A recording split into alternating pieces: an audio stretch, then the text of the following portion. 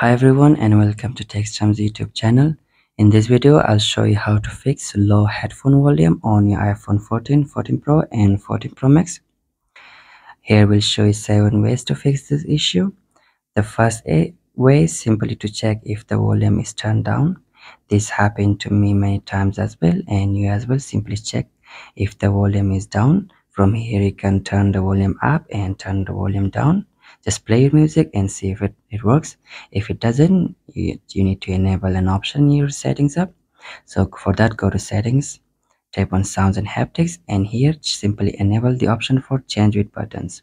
And now just play your music and turn the volume up. See if if it is the case. The second way is you simply disable the headphone safety feature. For that go to settings. In the settings up tap on sounds and haptics tap on headphone safety. And now here if the reduce loud sounds is enabled simply disable it and see if it fixes low headphone volume on your iphone. The third way is simply to turn on or off and off the airplane mode. For that open the control center and simply turn on the airplane mode and wait some seconds and turn it back off and see if uh, it fixes your issue.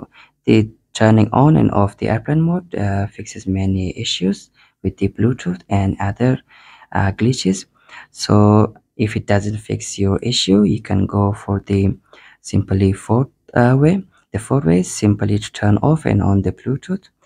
For that, open the control center again and turn the Bluetooth off and wait some seconds and after that turn it back on now connect your headphone and see if it fixes the low volume issue so again if it doesn't fixes your issue you can simply restart your iphone. For that tap on the tap the side and volume up button and hold them for some seconds until you see this badge now simply slide to power off and wait some seconds. After that and turn it back on and see if it fixes your issue. So if it doesn't as well you can go for this uh, sixth way sorry yeah. And the sixth way is simply update your iphone software. For that go to settings tap on general. In here tap on software update. Now see if there is any new software update available. If it is available simply install it on your iphone. And this will this may save your the low headphone volume issue on your iphone. Again if it doesn't go for the seven way. The seven way is simply reset all settings or simply factory reset your iphone 14 for that go to settings. Tap on general. Now in general settings uh, tap on transfer or reset iphone.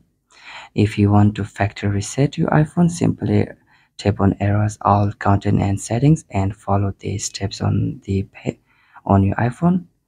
And you can as well reset all settings. Simply tap on reset and tap on reset all settings. And this will reset all the settings that you've made on your iphone.